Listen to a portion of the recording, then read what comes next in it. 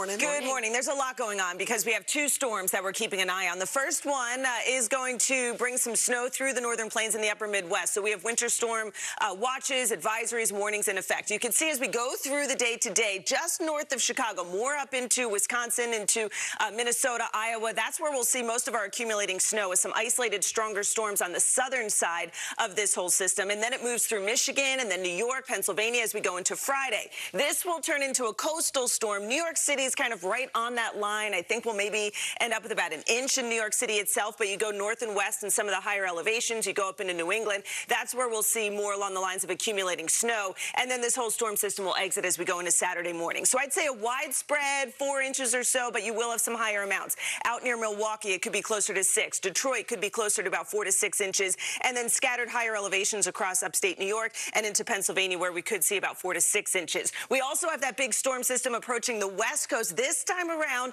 Not so much snow, but rain will become a big issue, and we'll have much more on that coming up in our next half hour, Savannah. All right, Dylan, thank you. In the meantime, we are learning more about that deadly